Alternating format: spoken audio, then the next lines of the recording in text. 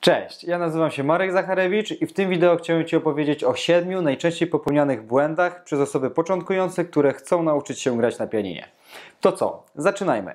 A więc błąd numer jeden to brak jasno określonego celu.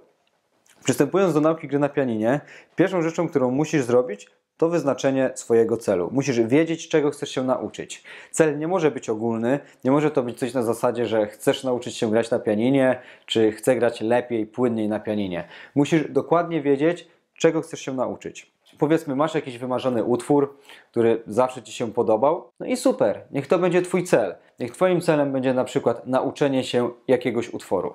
Gdy już wiesz, czego chcesz się nauczyć, określ datę wykonania tego celu, no bo Cel bez daty jest tak naprawdę marzeniem, a nie celem. Także określ, czego chcesz się nauczyć, no i do kiedy. Błąd drugi, czyli brak systematyczności w ćwiczeniu. No niestety, żeby grać na pianinie, żeby widzieć zadowalające efekty, musisz ćwiczyć systematycznie. Niech to będzie 10, 15, 30 minut, ale każdego dnia. Nie rób proszę czegoś takiego, że jednego dnia podejdziesz do pianina, poświęcisz 30 minut, drugiego, trzeciego, czwartego dnia na ćwiczenie nie poświęcisz nic, a piątego dnia usiądziesz i będziesz grać dwie godziny. No fajnie, poświęciłeś, poświęciłaś dużo czasu, ale tak naprawdę no, ten czas powiedzmy sobie szczerze, był zmarnowany. Zdecydowanie lepsze efekty zobaczysz, jeżeli będziesz poświęcać mniejszą ilość czasu, ale będziesz to robić każdego dnia. Błąd trzeci, czyli złe ułożenie dłoni na klawiaturze oraz złe uderzanie palcami w klawisze. Żeby pokazać Ci, czego nie robić, zapraszam Cię na klawiaturę. Dobrze, a więc jak powinna wyglądać Twoja dłoń na klawiaturze? No właśnie w taki sposób, jak widzisz to na ekranie. Przede wszystkim nadgarstek. Nadgarstek jest tutaj najważniejszy. Nie może on być ani za nisko, klawiatury, ani nie może być za wysoko. Ponadto Twoje palce muszą być odpowiednio zgięte. Cała dłoń musi tworzyć pewnego rodzaju budkę, pewnego rodzaju domek. Dłoń nie może wyglądać w ten sposób, nie może wyglądać tak, ten nadgarstek nie może być za wysoko, nie może być za nisko. Tak, musi się znajdować na linii z klawiszami bądź nawet delikatnie powyżej. Jak uderzać w klawisze? No na pewno nie można uderzać tak jak pokazywałem wcześniej, czyli tak w ten sposób prostymi palcami, za bardzo zgiętymi. Przy uderzaniu w klawisze palce nie mogą gdzieś odstawać. Cały czas muszą, Twoja dłoń musi tworzyć pewnego rodzaju budek, pewnego rodzaju domek. Tak?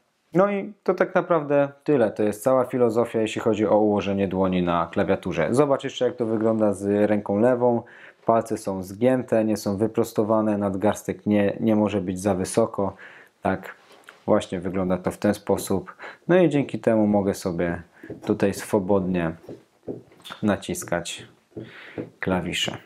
Kolejny już błąd, błąd czwarty, czyli brak wykonywania ćwiczeń technicznych oraz ćwiczeń na synchronizację. Rozumiem, że ćwiczenia te nie są najpiękniejsze, mogą być nudne, ale powiem szczerze, są one niezbędne, żeby prawidłowo rozwijać się w grze na pianinie. Jeżeli myślisz poważnie o nauce gry na pianinie, o tym, żeby w przyszłości grać swoje ulubione utwory, żeby cieszyć się grą, żeby płynnie grać, żeby gra nie sprawiała Ci problemów, musisz poświęcić czas na wykonywanie ćwiczeń technicznych. Błąd piąty, czyli brak nauki zapisu nutowego. Rozumiem, że nuty, ogólnie teoria muzyki, zasady muzyki mogą wydawać się skomplikowane. No i tak jest. To jest skomplikowane, nie jest to nic prostego. Aczkolwiek, jeżeli poświęcisz odpowiednią ilość czasu, jeżeli będziesz ćwiczyć systematycznie, jeżeli będziesz uczyć się systematycznie, to tak naprawdę nie musisz poświęcać aż tak dużo czasu, żeby nauczyć się teorii muzyki. Jeżeli będziesz uczyć się jednocześnie grając na pianinie, tak, no to nauka tej teorii będzie Ci przychodzić zdecydowanie szybciej i nie będzie Ci się ona wydawać aż tak bardzo skomplikowana.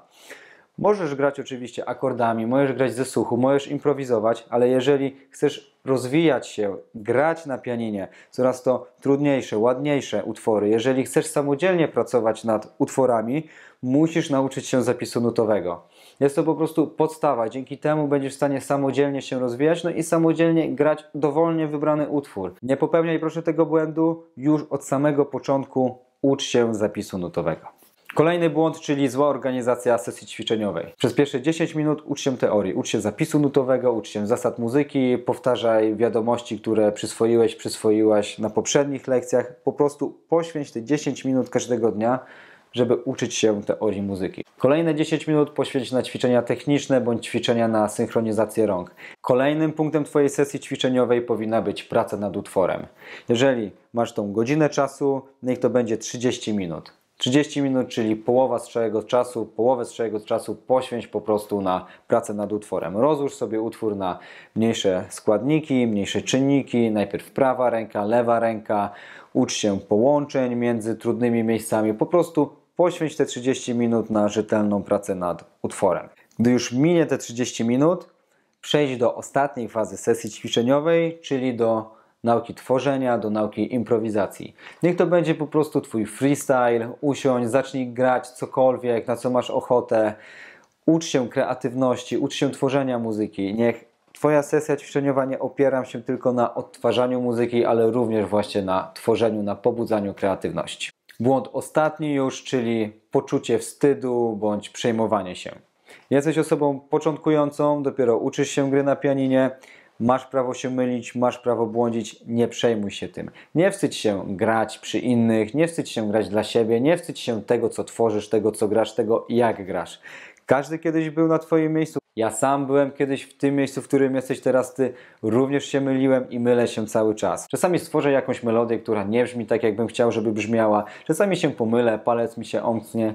Trudno. To jest część gry, to jest część procesu. A więc najgorsze, co możesz zrobić, to przejmowanie się i wstydzenie się własnych umiejętności, własnej gry.